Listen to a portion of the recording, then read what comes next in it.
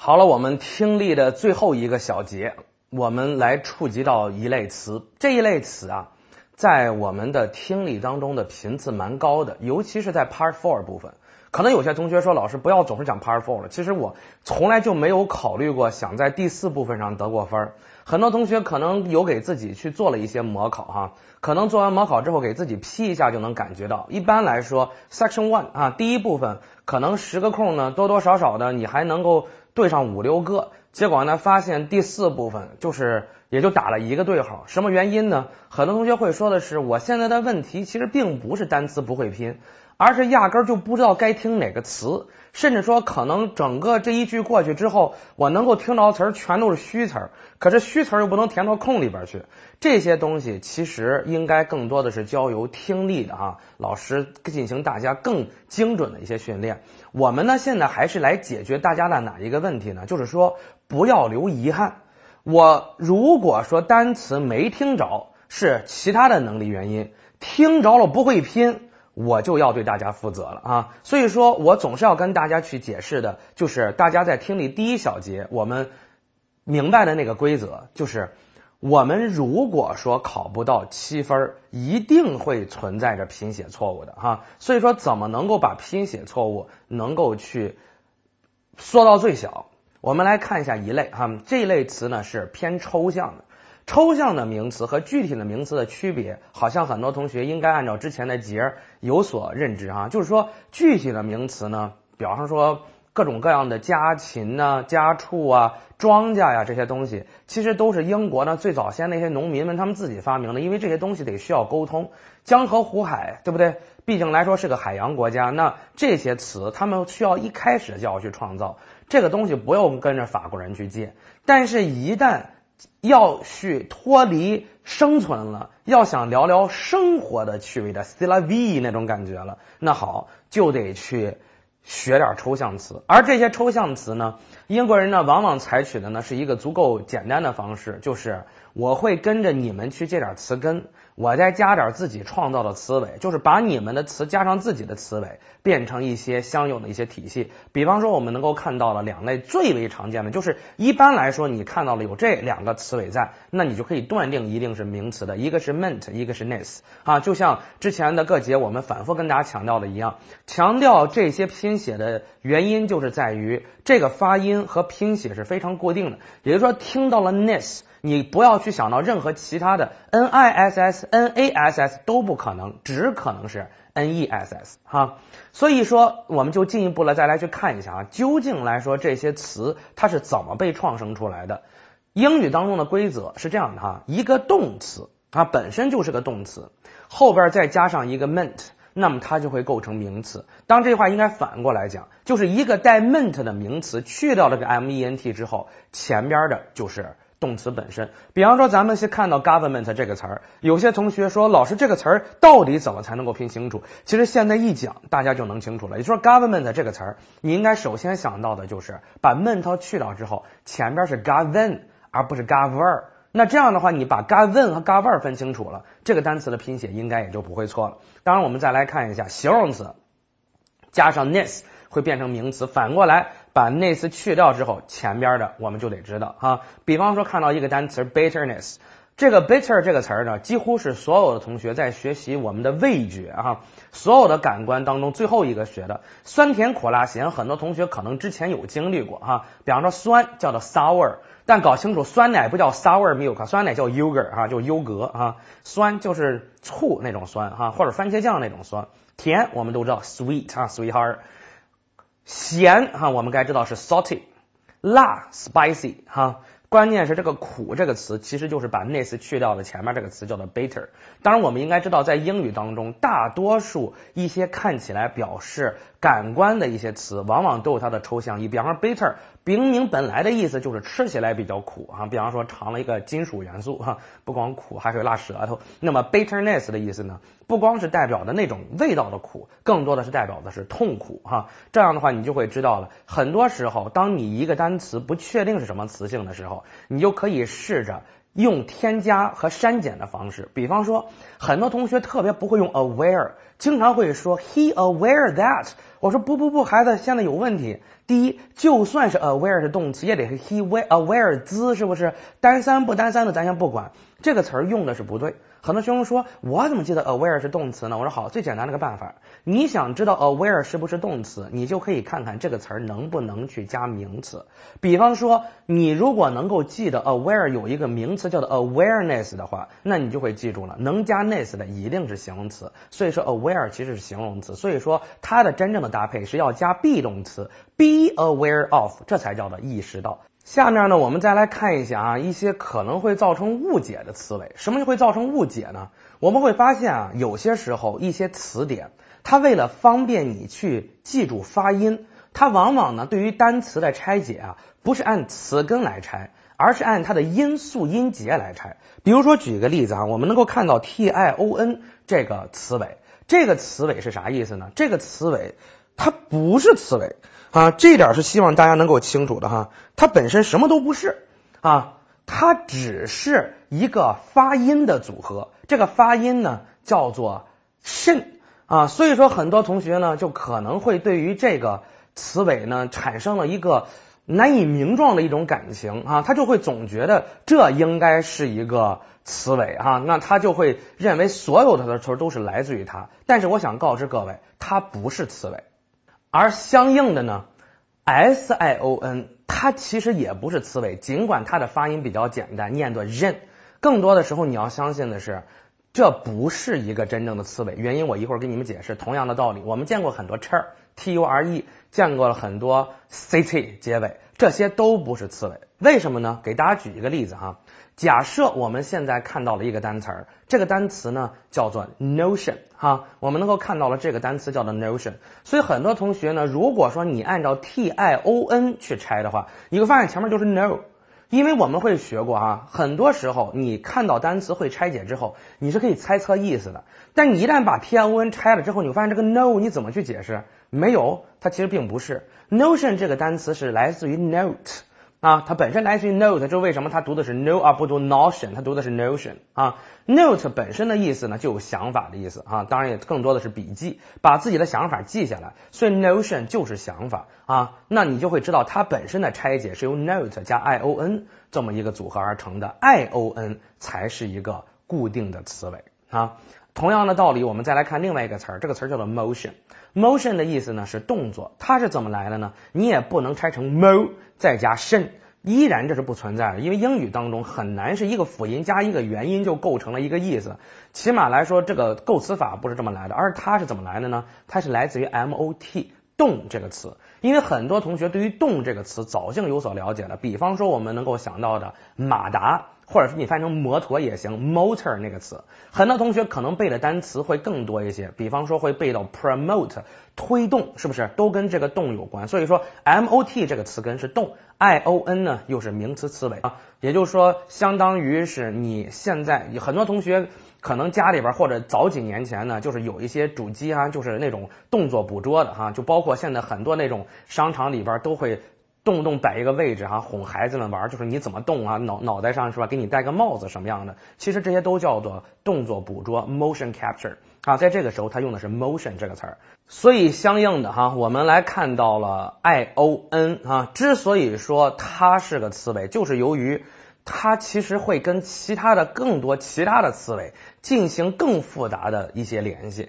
比方说，我们能够平时见到的 ation 这个词尾，比方说 organization、communication，大家发现没有？结尾都是 ation 词尾。只要是听到了 ation，你就要记住它是 a t i o n，它是由 a t e 又加了个 i o n 构成的，就是先加了个动词词尾，又加了个名词词尾。当然包括 ization、allization 这些哈。很多同学呢，可能在听这个课程的时候呢。比较随性哈，比方说看到咱们这个课程之后呢，他会挑自己可能喜欢的这个章节去听。其实我还是建议大家能够一套的听下来，因为你会发现 ization 和 allization 是之前那节跟大家讲过的哈，讲到的是他们的一个整个的构构词的体系。所以说，希望大家保持整个课程的连续性，你才会知道我讲它的目的依然不是为了告诉你它是怎么构词，而是要告知你它是如何进行拼写。这样的话，你也不会再有争。争议，说到底 ization 是 i z a 还是 i s a，你都不用担心了，因为我说过了，写成 z 和 s 都是给分的哈。这就是我们通过这些词尾以及词尾的延伸能够获得的能力。当然，更进一步去讲，i o n 之所以说它是个固定的词尾，我们还得找一些佐证，不是？比如说，咱们来看一下啊，很多词儿真的是不需要。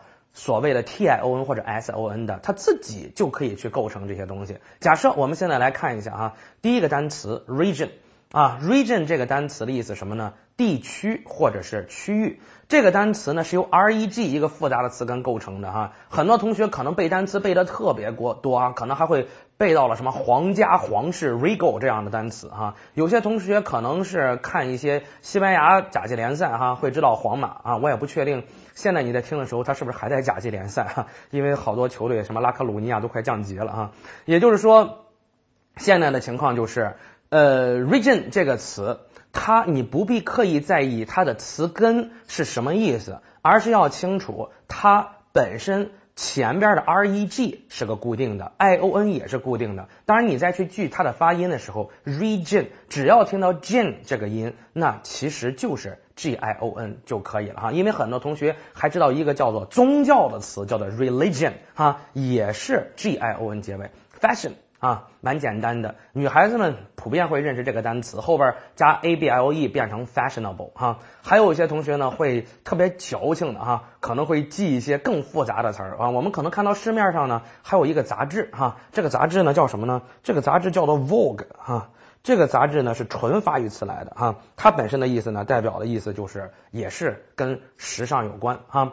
那么再来往下去看哈，看到了一个单词叫做 million 哈，这个词挺好玩的啊。我不是说嘛，我来自一个还不是多么发达的地方，我们小时候没有肯德基、麦当劳哈，但是呢，我们那儿就有一个快餐厅叫米粒奶哈。显得档次挺高的，我一直以为是吃把子肉、吃米饭的哈，后来发现不是，后来以为跟米老鼠有关，也没关系，人家就是卖西餐，当然很快倒闭了哈，因为很快我们都会吃到麦当劳了。但是呢，它这个米粒奶是什么东西啊？我是过了多少年才会知道，它原来来自于 millionaire 啊。很多同学会说，完了老师，我跟你讲哈，million 我会拼。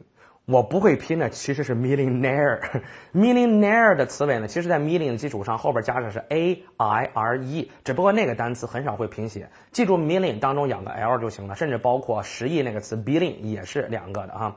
opinion 这个单词，其实大多数同学会觉得我不会存在问题，因为老师这个词儿可真的是我们从小学到大的。但是哈，各位说一个数据，可能听起来有点让人感到恐惧哈。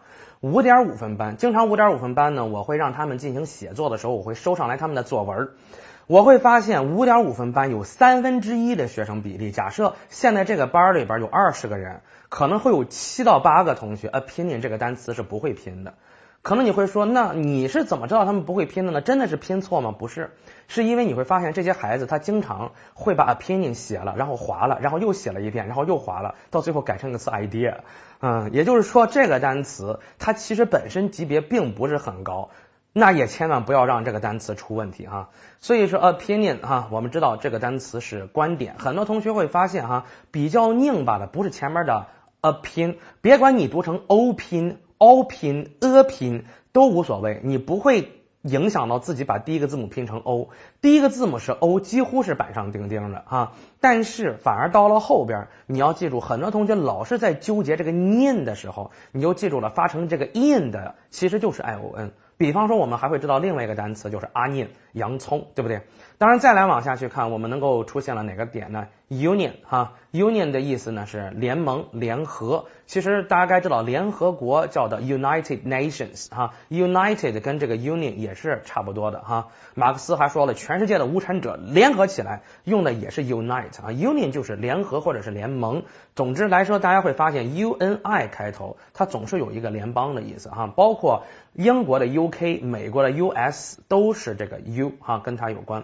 最后一个单词 companion 要注意一下哈，大家会发现哈，很多 i o n 结尾的词儿，由于 i o 各自发音，就会导致了它的重音其实更多的是倾向于后边，依然是遵循的是这个倒三原则。来啊，咱们不厌其烦的再跟大家去讲讲这个倒三是怎么执行的。首先 o n 本身发出来一个 n 哈，然后 i 呢本身又发了一个 a，然后呢拍又走了一个音，所以说整个这个音，咱们说要是遵循倒三原则的话，你会发现它是从着这个位置过来的，所以说 companion 哈 companion，那么后边的三个音凑成了我们的倒数第三个音哈的三个音节，所以说它不读 companion 而读的是 companion。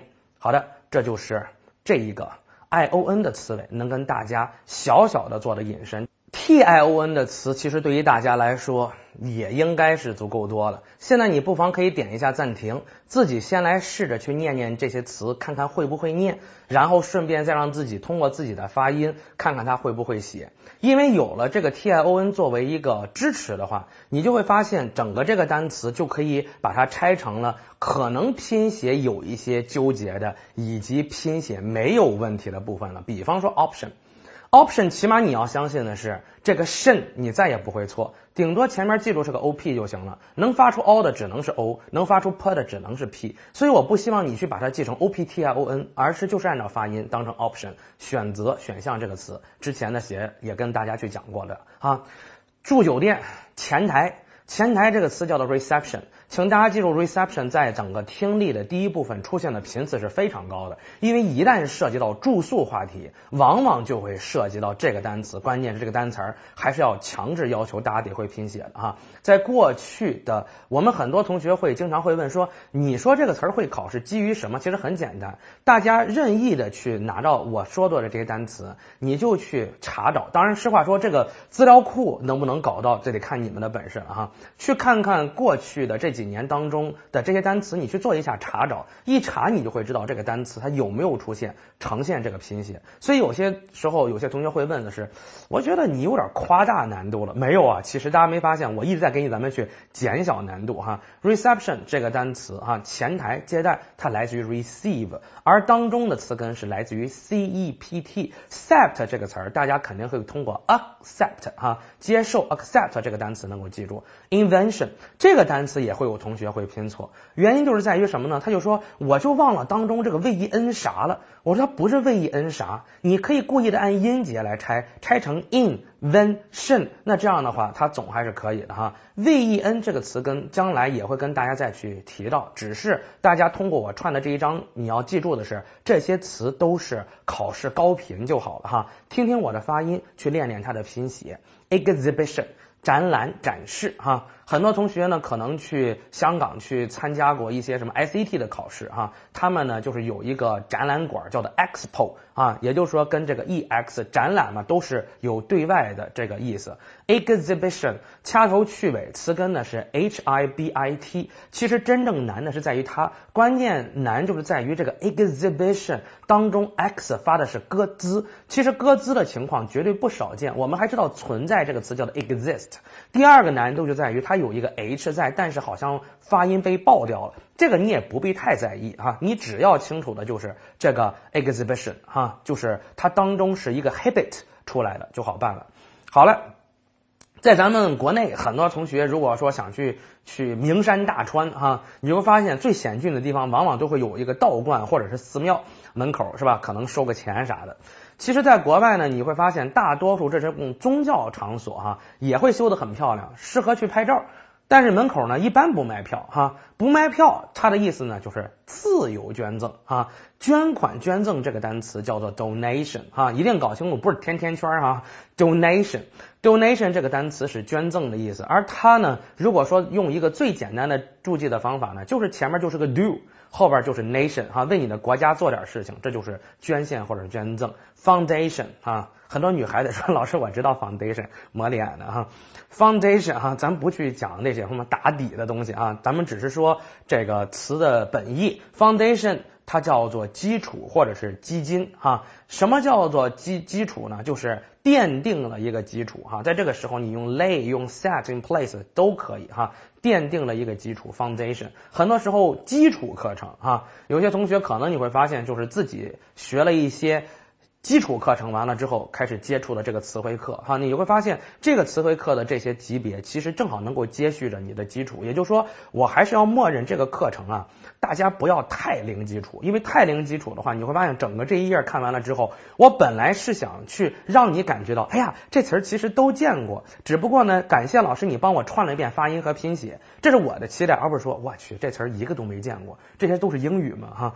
不要有太大的压力。最后一个词 fiction，我们该知道。再配上呢科学 scientific fiction 的话，就会构成了科幻这个词。本身这个词的意思呢，指的是小说，而且呢，有一种比较文艺的翻译叫做虚构。为什么呢？其实大家很多同学去一些网站，比方说文艺青年喜欢去豆瓣，是不是？那你会发现那上边呢，经常呢，他会把这个图书啊，就分成两类，叫做虚构类和非虚构类。一开始我就不大明白，我就心想的是，我还只能够选虚构有非虚构吗？后来才知道啊，小说。就是相当是你写别人这事儿不存在的东西是吧？长安十二时辰拍完了之后，所有人都得改名，为什么呢？因为这是虚构的哈，这就叫做 fiction 虚构，所以说它也被称为小说。而那些非虚构的，往往就是一些传记，包括自传相应的东西哈。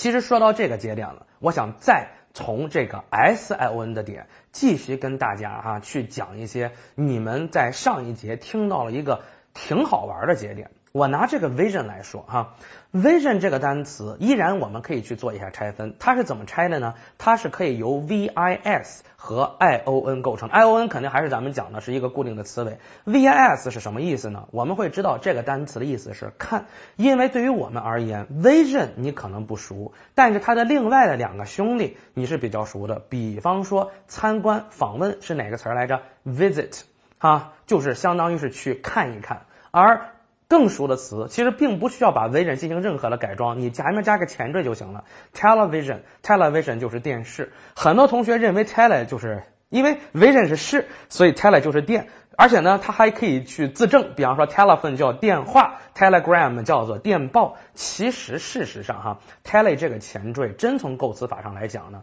并不是电，而是远程的、远方的意思。因为我们会知道天文望远镜叫做 telescope。啊，当然显微镜叫做 microscope 哈，但是你把它记成电，能够助记也是没问题的。这不是我想讲的，我想讲的是由 vision 引发的一些其他的词，这些词无论是拼写还是它的意思，也是格外重要的。比如说 visible visible 咱们怎么翻译呢？能看得到的。I B L E 表示能怎么怎么样的哈，所以说这就是 visible 啊，能看得到。这个构词法还是很简单的，前面是看，后边是能够。因为你说老师 with 怎么记来着？记住 television 有电视当中的 V S 是视就行。还有另外一个形容词，它呢是构成了不同的词尾。I B L E 词尾本身就表示能怎样的啊？当然这些形容词的区分，大家在听到写作那一章的时候，我会再跟大家去讲。因为很多同学在写作的时候就会遇到，你其实想写一个词儿，但是你就不知道该用哪个词尾哈。比方说，你看这两个词儿就是一样的，同样是 with 的词根配上不同的形容词词尾，就会代表不同的意思。比方说 visual，visual 呢加上 a l，a l 呢一般来说是直接把它翻译成的，就是什么多余的词儿不加，就是。的，vis 就是视觉，那么加上个 al 就是视觉的。比方说，我们会知道一个词儿叫做 visual effect 啊，叫做视觉效果，也被称为 ve。其实很多同学，我知道你想问什么啊，我总觉得我应该备课足够充分，因为你会说，你刚才老师你讲的这一章我根本就没听进去，你知道为啥不？老师就是因为刚才啊，我一直在琢磨另一件事儿，就是为什么非得是 vis 代表的是看。你为什么不能用更简单的 see 来表示？因为实话说，你真写成 seeable，老师我告诉你，别管什么实力，我们都能够知道它的构词法。你不觉得写成 seeable 更正常吗？老师有没有 seeable 这个词儿？我先告诉各位，有，有 seeable 这个词儿，但是人家不常用，更为常用的反而是 visible，怎么回事呢？我们再来不妨看一下底下的这个体系哈。我们可能会知道，我们其实见过了很多的单词，这些单词的词根本身就给我们增加了一些难度。比方说，能听见的，所有的同学都希望的是这个词儿应该是 hearable，讨厌的是，人家英国人说的是 audible。Audible 这个单词儿其实你可以通过一个小的点就能够意识到，因为我们知道音频这个词儿叫做 audio，我不知道你还记得不记得哈？音频叫做 audio，所以说 hearable、audible 都表示能听到的，但是人家更多用的是后边的 audible。同样的道理，值得相信的，你会发现其实完全可以走一个构词法，用 believable，对不对？我 believe 老师这个词儿我是认识吗？那么 believable 哈，能相信的，但是不。你会发现，老外还是更多会使用哪个单词呢？用的是 credible，但是相应的当中的这个 cred 作为词根，就会给你增加了一定的难度，因为你就会觉得这个 cred 它它为什么是相信呢？我可没学过这个词儿，它依然是词根。哎，请大家记住哈，每次我在讲的过程，你现在自己就得有心，就得告诉自己了，只要发成 o 的，一定是 a u d。只要发音成 cred，一定是 c r e d。大家可别忘了，咱们这一章本来要讲的是啥来着？就是老师，我有一些什么 a e i 的，老是分不清楚。我说过了，怎么去分？你就记住，这就是个固定的搭配，就是只要是 cred，一定是 c r e d，不是 c r i d，也不是 c r a d，好不好？同样，adaptable。如果说你想说这个东西适应力强。哎，你会发现最好的词儿就是咱们先用一个适应叫做 adapt，然后构成了下边的 adaptable，表示可适应的。讨厌的是，更多的时候你在做将来的阅读的时候，你见到的并不是 adaptable，而是一个看起来足够诡异的，看起来挺像 computer。当然，它还真跟 computer 有点关系。它的意思咱们之前讲过了，它的意思叫做兼容的。啊，也就是说，并不产生矛盾的。为什么说跟电脑有关呢？现在啊，咱们同学们都不大用电脑了，因为手机的功能足够强啊。以前的时候呢，恨不得就是放到十年前我教学的时候，我总是会跟大家去说，回去之后大家通过一个软件来学习。现在有的时候我就会跟同学们说，比方说我说咱们之前的这个剑桥词典，我说呀，用电脑搜啊，可能它界面更大，操作更方便。很多同学就会抱怨说，他们怎么就不研发一个 A P P 呢？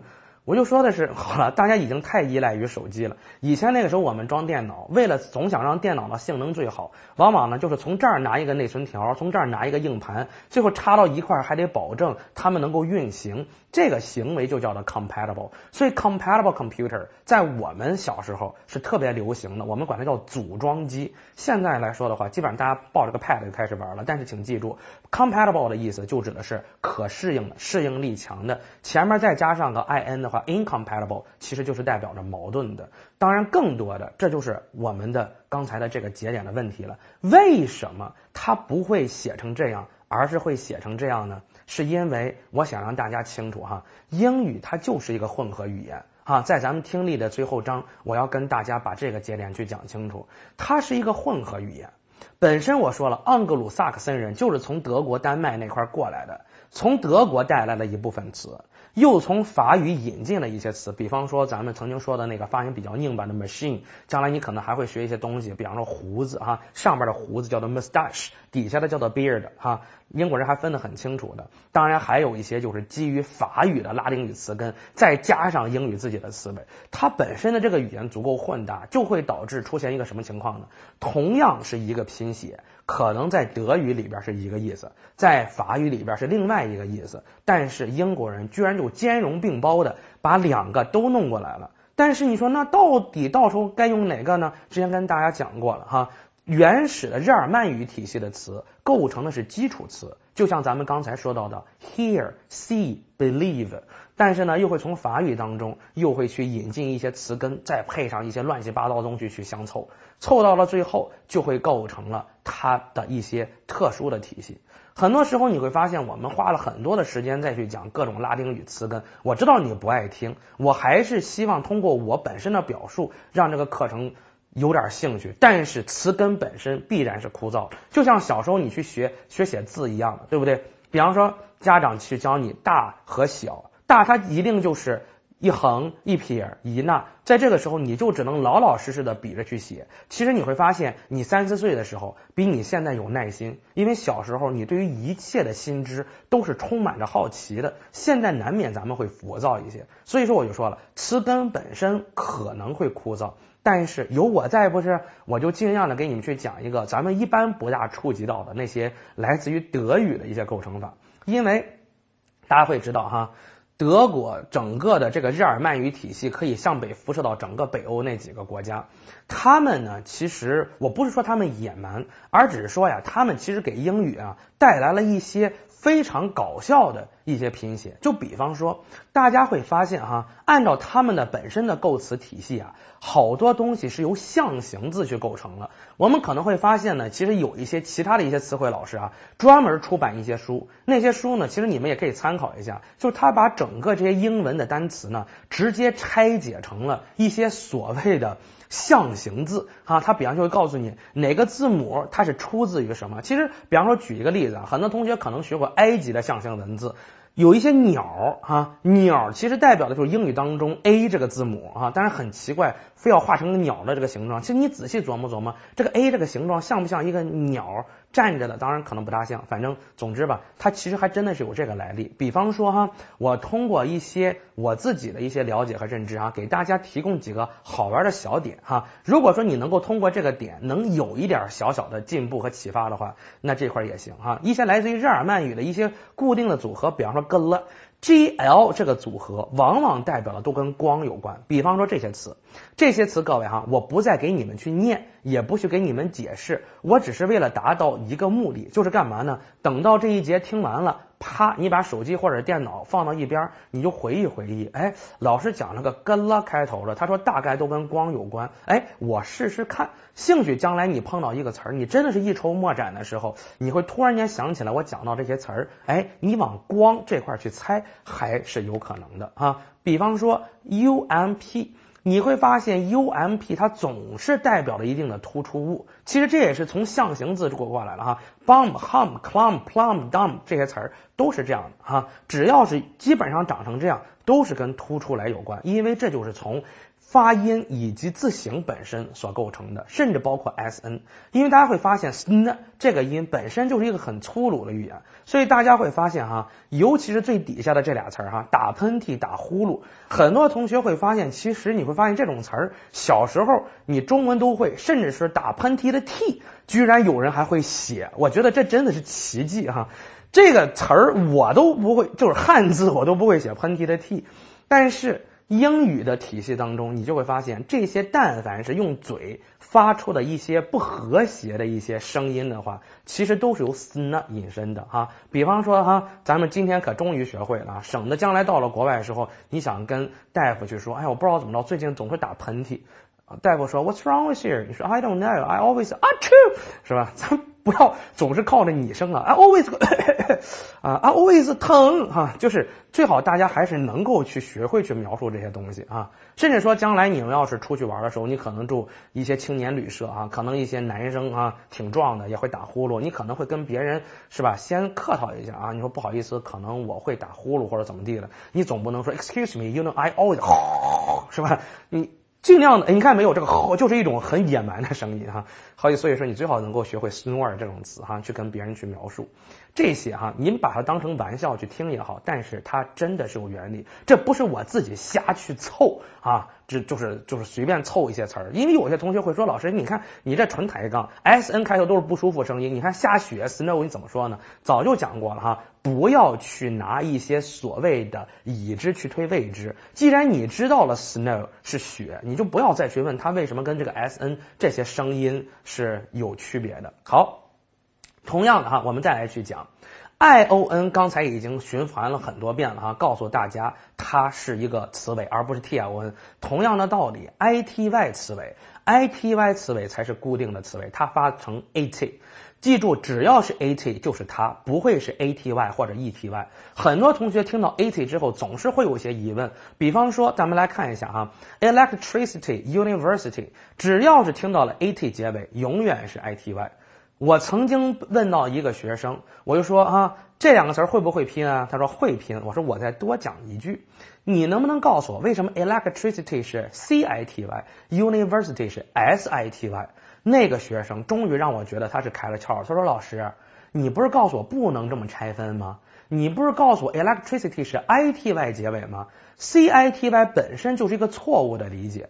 能懂了吗？很多同学为什么这两个词儿老是感觉 c 和 s 分不清楚，就是因为你故意的要分不清楚。如果你把 i t y 去掉，前面是 electric，这是不是电的？universe 有没有发现它的词根就是 verse 旋转？那这样的话你也会清楚哈。我们不是要刻意分清楚是 city 到底是哪个音，而是它们压根儿就不是一个词根构成的。其他的 i t y 的词儿呢，再可以跟大家去讲一下哈。这两个都是国外天气预报当中比较常见的词儿哈。很多同学到了国外之后，你会发现就会遇到好多他们经常说，但是咱们基本上没学过的词，比方说 precipitation 叫做降雨哈。那么我们来看一下，一般来说的话，去表示空气湿度的话，注意这个单词叫做 humidity。humidity 呢？H U M 是它的词根，I D 是形容词词尾，然后 I T Y 又是名词词尾，构成了 humility 湿度。而密度这个单词呢，density 啊，density 也是 i t y 结尾。像这种词儿，只要是会念，你就会拼，意思在此。因为我说过，咱们整体的这一个章节更多的是强调拼写。每每一页我讲完了之后，你都可以点一下暂停，试着把刚才这些词儿去念一念，练练自己的拼写，看看能不能有所认知。当然，甚至也包括 u r e，只要是看到 u r e 结尾，它在结尾处就读的是二。记住 u r e。就是 U R E，不会是 R U E，也不会是 U E R。比如说，我们来看另外两个跟 U R E 有关的词，pressure、procedure，哈，我们能够看到了哈，这两个词都是走的是压力的这个层次哈。pressure 肯定跟 press 有关啊，把它压一压，出现的是压力。press 只要你认识 pressure，一定得会拼，包括 procedure。很多同学可能觉得这个单词这个 j 好讨厌，它其实是英语当中一种吞音变形。其实 c e d 本身这个的读的就是的，的再配上了一个 your，所以会变成个 doer，然后又会引申出来变成了 j 啊 procedure。但是将来你也得会拆了，它是怎么来的呢？你们熟悉的 p r o，再加上一个固定的 c e d，c e d 咱们随后会讲哈，再加上个 u r e，就会变成程序这个词。所以说有些时候听到一个词儿，别一听呀 procedure，完全。觉得不会拼，仔细拆拆看，你就会知道哈。分别拆成三个字母一组合，三个字母一组合，这些词本身还是好记的。当然，再进一步的去说，依然讲一下大家出国可能会用得到的哈。比方说，当然这也不是非得去咒你哈，你就是说你一旦出了事儿，不出事儿也罢，真出了事儿，你得会说，对不对？经常有些同学去去看大夫，大夫说：“哎呀，我觉得你嗓子有点发炎。”发炎这个词是 inflammation，完全听不懂。大夫说：“这么着吧，我给你开点 paracetamol 吧。”你说什么叫 paracetamol？我不知道这是个什么药，我能不能死啊？就是这样的啊，大家还是有一些基基础的词应该去了解啊，比方说 fracture。Fracture 的意思是骨折，它从构词法上来讲呢，F R A C T 这个词根的意思本身就是断裂和碎开的意思。这个词根将来也会跟大家去讲到，只是你就记住，通过发音的角度，fracture 只要会念，你就知道它的一个拼写的体系就行了哈。这是 fracture 这一块。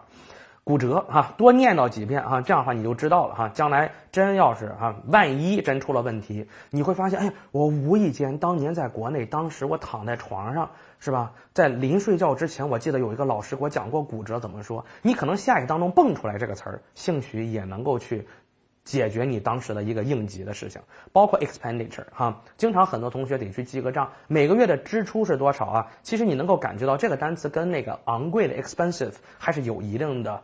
归就是这个联系的哈，因为 P E N D 这个词跟总还是跟钱有关，E X 是出去，把花出去的钱统计出去，I T 叫做叫做出去嘛啊，因为大家该知道 visit 就是去看看哈，所以 I T 也有它的意思，叫做走啊，出去看看，总之就是把钱花出去，这就叫做支出。依然想告诉大家的是，把拼写放到第一位，听到 expenditure 你就最好能学会拼写哈，这是我们的节点。好的，我们把刚才的这两个词哈，再进一步的给大家去来去做一些注解。刚才讲过了，pressure 是压力，procedure 是程序哈，这两个词根呢，在雅思当中的频次还真不低啊。我们借由这些词根呢，尽可能的让大家能够清楚这些发音和拼写之间的规则的同时，来顺便的给大家去引申一下。其他的与它相关的发音和拼写都还有哪些词？比方说，我们来看一下 press 这个词根本身。press 这个词根的意思呢是压啊，就是我们很多同学用电脑玩游戏的时候，他经常会说一句话叫做 “press any button to continue”，按任意键继续哈。这个按其实就是这个 press 哈。很多时候你会发现北方人一般不都按，他都嗯哈，就是一个鼻音。很多人同学经常问我老师，这个嗯是哪个词儿？press。除了这个压之外呢，不同的方向就会代表着不同的压的方法。比方说，express 往外压，涉及到前缀的东西，大家会在阅读的章节当中，我会专门跟大家去精讲。现在更多呢就是快速的哈，我们来看一下这些 press 相关的词儿，你是不是都见过？认识啊，学得到我的这个提点的同时，更多的就是记住，只要听到各种 press，一定是这么拼就好了。Express 叫做表达，这是向外去说。当然还有一个点叫做快递哈。那么 impress 呢，叫做给谁留下印象。这个动词出现的频次不是特别高，但它的名词 impression 印象，形容词 impressive 印象深刻的，这也都是大家应该保证会拼写的哈。compress 呢叫做压缩，com 是一块压到一起，这是压缩。suppress 呢是向下压，压的话呢这就叫做抑制。而 oppress 呢叫做压迫，其实大家通过这两个词你就要记住了哈，前边三个比较特征，剩下的这仨你都不用刻意去区分，总之来说都是指的是不好的趋势就行了。无论是抑制还是压迫，总之将来无论是人民被政府压迫，还是指的是这个学生被老师压制。都是类似的这么一个意思就行了，到时候根据场景我们再来去推知它的一些意思。而最后这个呢，抑郁、萧条 （depress），为什么会突然间讲到它呢？因为很多同学想说的是口语当中想说，哎，我特别不开心，那你起码得知道它的说法叫做 depressed。而一旦要说到经济大萧条，很多同学应该还记得咱们初中政治课本里边背过的哈，一九二九到一九三三的 The Great Depression 哈。呃，持续时间非常长，破坏力非常大，波及范围非常广哈！如果你还得背过那个特征的话，那就是 depress 这个词儿。当然，更多的是想说到 press 本身，因为很多同学啊在进行单词记忆的时候，如果你还记得我的综述虚论那一章的时候，跟大家去讲过哈，我们面对单词可能最大的傲慢，并不是在于你不认识，而是你以为你一定认识。Press 除了当按压之外，它还有另外一个意思，叫做出版。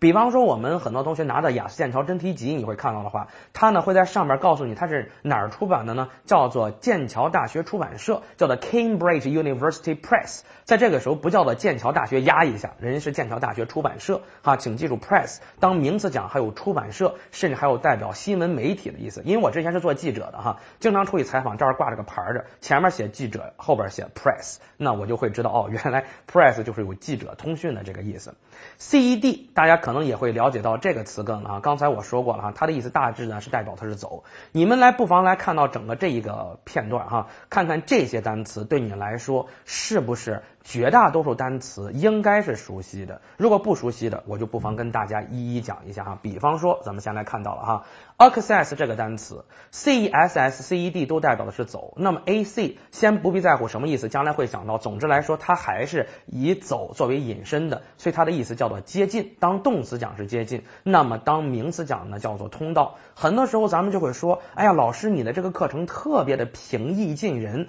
那你就可以用上它的形容词叫做 accessible 哈。表示就是是容易被学生接近啊，不至于特别恐怖。而女孩子们呢，要知道哈，知道一这么一个点，就是头上的、身上的各种小饰品，不要总是说 decoration 或者 ornament 这样的词儿哈，给大家提供一个很好的适合于口语说的词儿。这个词叫做 accessory 饰品哈，尤其是很多时候我们来进行口语考试的时候，经常会有一个话题让你来描述 jewelry 珠宝哈，就是问你平时戴不戴首饰，那你就可能会用一个。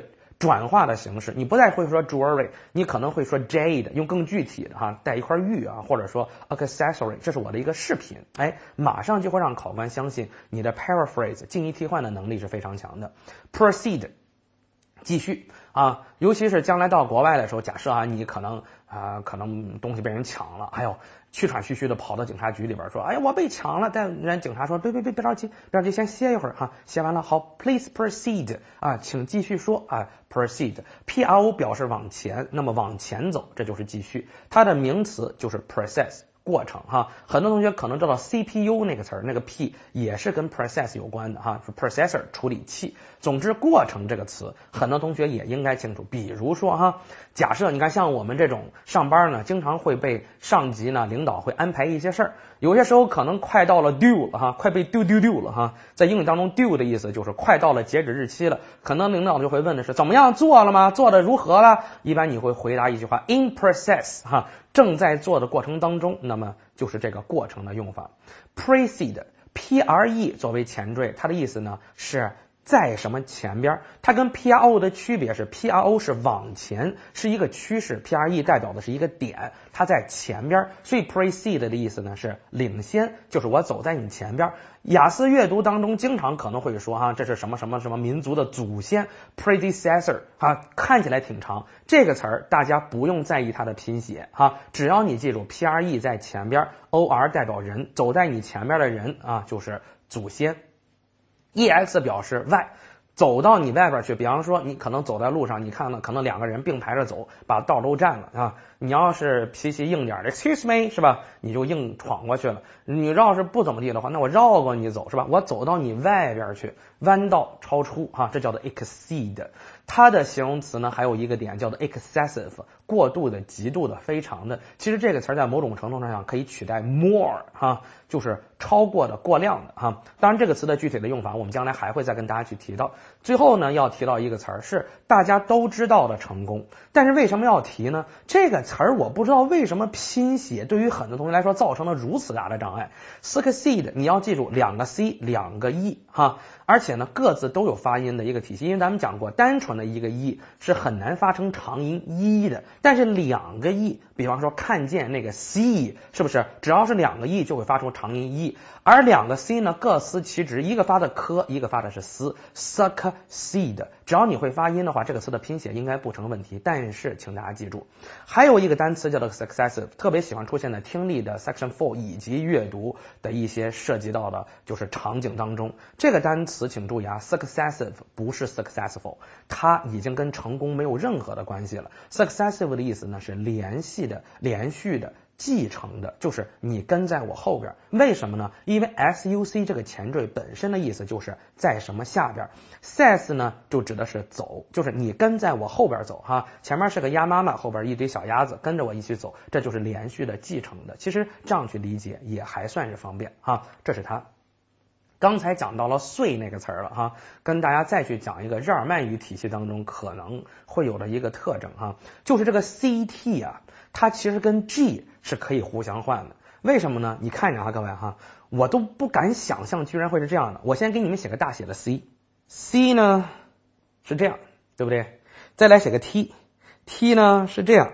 好了，一个 C 加上一个 T 就变成了 G，这居然是他们的构词原理哈，就是以至于好多时候你会发现英语的一些词儿真的很搞笑，对不对？因为呢，以前的英语啊是没有 U 这个字母的哈。写成这个样子一般就是 u，所以两个 u，double u 就变成了 w，这就是，我也不知道他们为什么会出现这样的一种构词原理哈。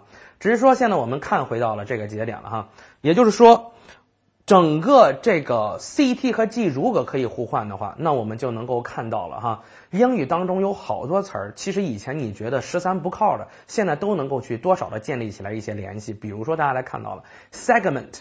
segment 是什么意思呢？这个单词的意思呢是部分啊，有这么一部分。有些同学可能学用英语学的数学的话，线段这个词就被称为 line segment，就是线的一部分，叫做线段。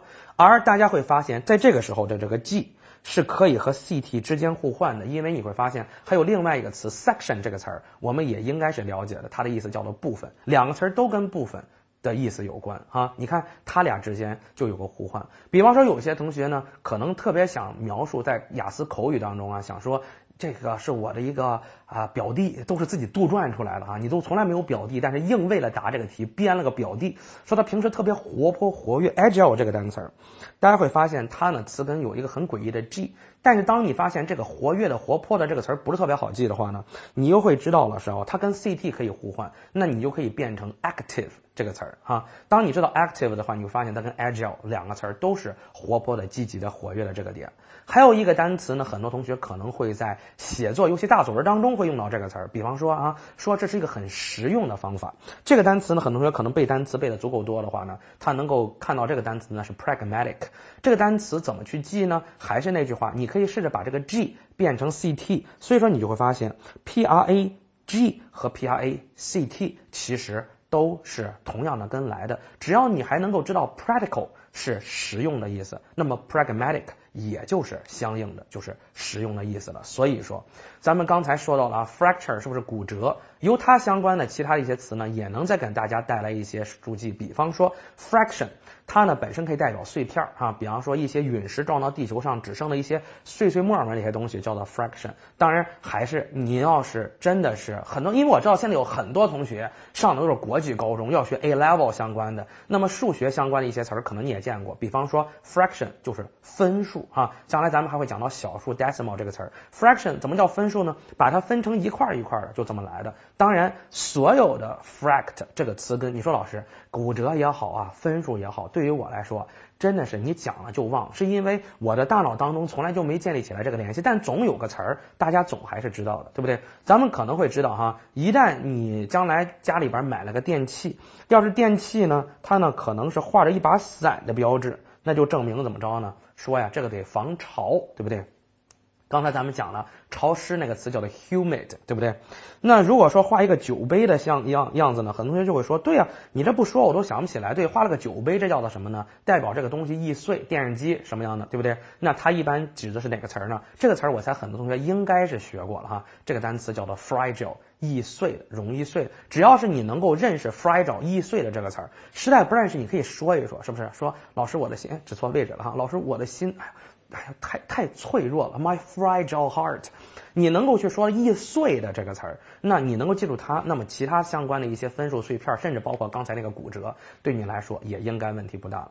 刚才咱们曾经讲过一个支出花费的这个词儿，pend 哈，我跟大家去讲过，它呢从。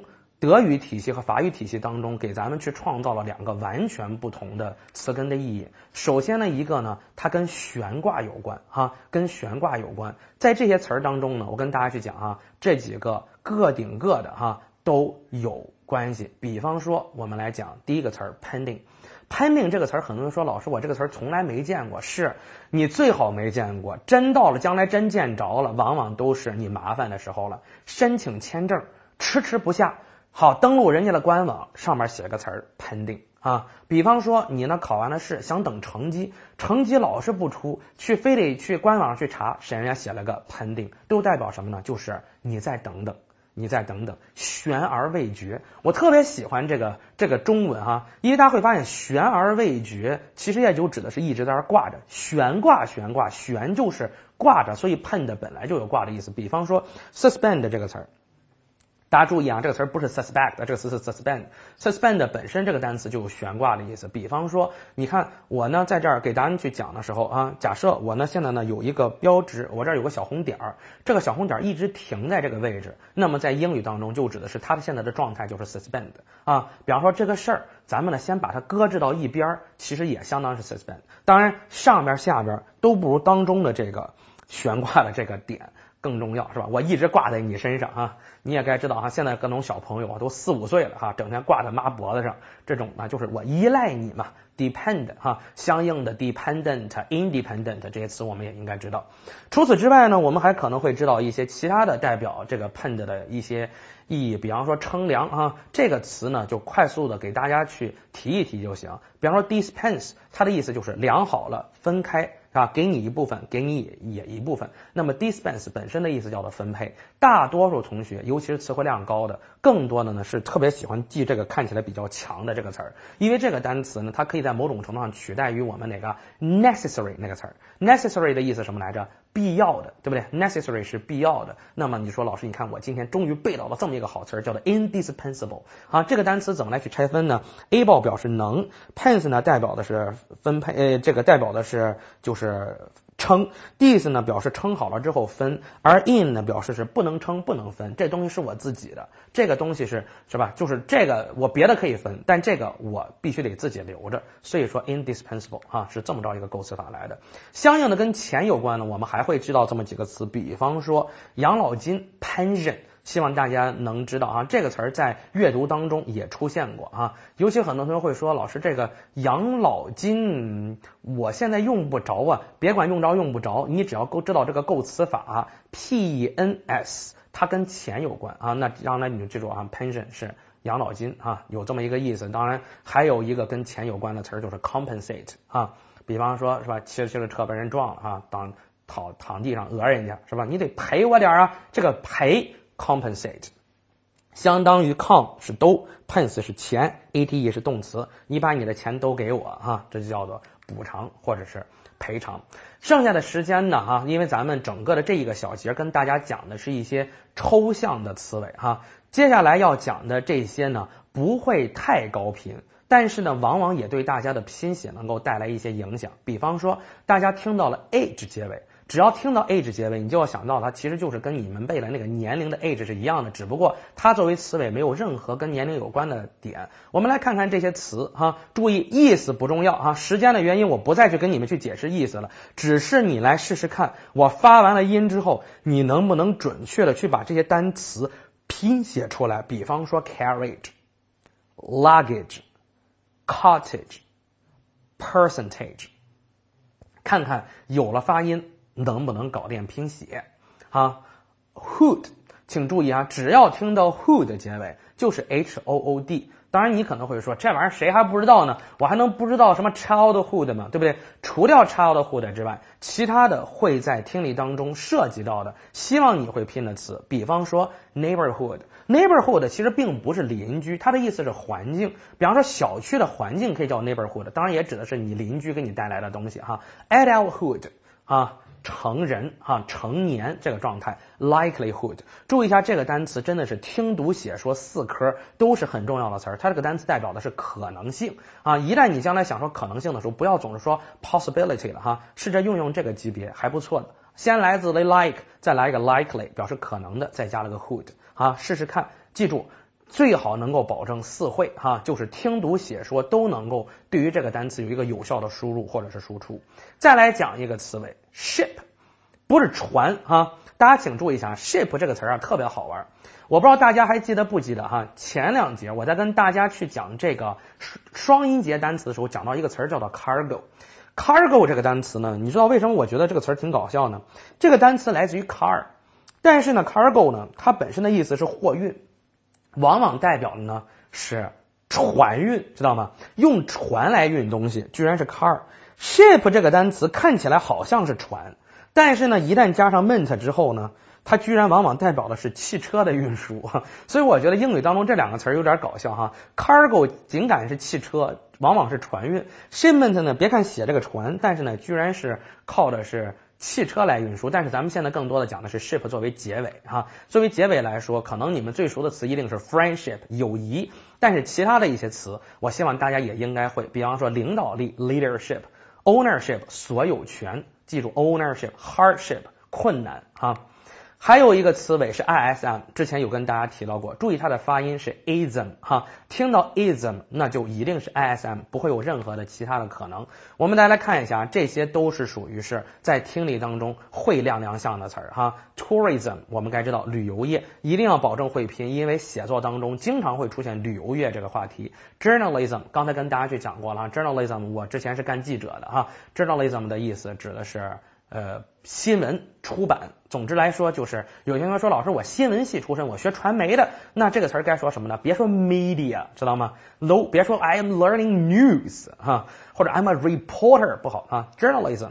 显得档次就很高哈，所以说有些时候你要清楚的是雅思口语，将来在进行考试的时候，你故意的去把这个单词上升到一个专业的角度，考官也会相信你专业的词掌握的足够多，是不是？比方说你是什么专业的，你说 Well my major is communication and journalism，让别人觉得哇，觉得比 I I am a news reporter 要好得多。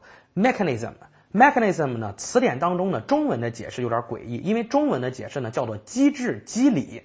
什么叫做机制机理呢？就是指的是它呢是一种什么样的方式。其实 mechanism 别去背那么复杂的机制机理，你就记住一个点，它的意思相当于就是 method 方法。这样的话可能更好记。这个单词某种程度讲，你可以想象到它来自于机器，就是 machine。有没有感觉到有点像哈？基本上你会发现没，把前边的这些字母哈重新换个位置哈，重新换个位置，这不就是 machine 那个词儿吗？所以说呢，它本身机制机理都有个机器的机字儿。optimism 哈，乐观主义，因为 ISM 更多的是跟主义有关。我们会知道有一个单词叫做 optimistic 哈。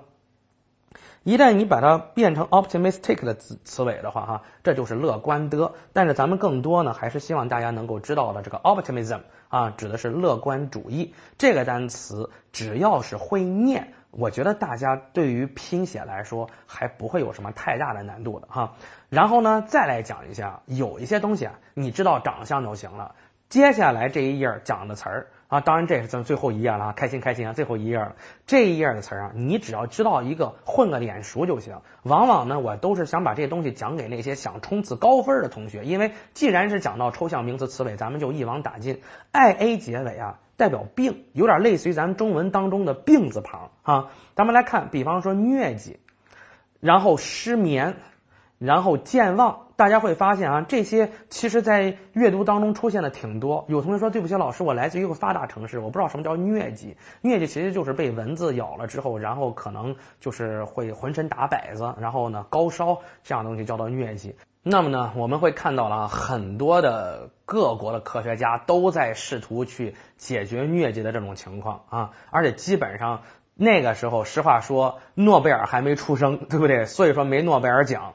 真要是诺贝尔再早生几年，可能那个时候拿诺贝尔生物学奖、化学奖的可能就是这些人了哈，他们才是做了一个功在千秋的事儿。其他的包括 insomnia 失眠、amnesia 健忘，其实如果说真要是拆分词根，这都会变成了极其复杂的体系。比方说哈，这个 som 的这个词根的意思呢，代表的是睡觉，in 呢表示不睡不着，这叫做失眠。amnesia 呢，m n e。又会代表的是记忆哈，跟 memory 有点关系，但是别听了啊，就记住别记那么复杂，只是记住一个节点，就是想多听的同学可以多学几个词儿，其他的同学就保持最原始的那个思路，就像我说的是，你知道 i a 结尾代表病就行了，u m 结尾呢代表的是金属啊，u m 结尾代表的是金属。比如说，咱们能够想到了哈，在我们的化学架当中哈，所有的那些金字旁的，其实放到英语当中都会以 U M 来结束。比方说，给大家挑几个哈，考试当中遇到过的词哈，aluminum 铝 A L，你会发现，星老师我明白，以后这种词儿啊，我就光看开头不就行吗？也未必，你会发现银它不是 A R，它是 A G。有些男生哈，他可能喜欢梅西。他会额外的知道一个国家叫阿根廷，阿根廷的另外一个说法叫做白银帝国，为什么呢？因为你会发现银这个词儿其实就是阿根廷的那个词同样的词根，因为阿根廷读的是 Argentina，大家会发现没有，就是跟它的是一样的，所以说阿根廷的意思什么呢？其实就是白银的意思啊。好多国家咱们其实都没有任何的了解，只是觉得名字咱们就这么叫了，其实都是有一些出处的啊。截止到现在。很开心的是，听力的整个一个大的章节就算是结束了，因为前后的每一个小节涉及到不同的一些知识点，可能听完了之后，你会感觉到不只是听了听力，可能们会把整个雅思全都打通了，这也是我的目的哈。分开是为了让大家有所针对，但是每一个章节我尽量的用我的能力会给大家无限的去引申，但是我们的引申有一个态度，只给大家引申到考试会涉及到。最后再来提一下，这些词儿不用要求会拼，只要你知道将来看到这个节点有地儿猜就可以了。好的，这就是我们整个听力的全部的章节，谢谢大家。